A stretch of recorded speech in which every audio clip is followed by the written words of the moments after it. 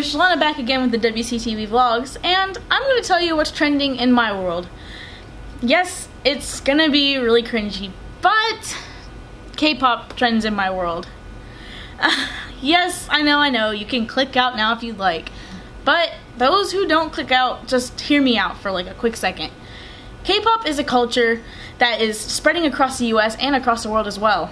The community is so diverse and full of people that you could at least expect to actually listen to that type of music.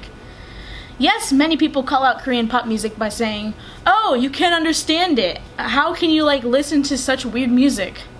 Well, it doesn't matter if you can or cannot understand the words. It's a culturally unique type of music. That's what's trending in my world. But what's trending in yours? See ya.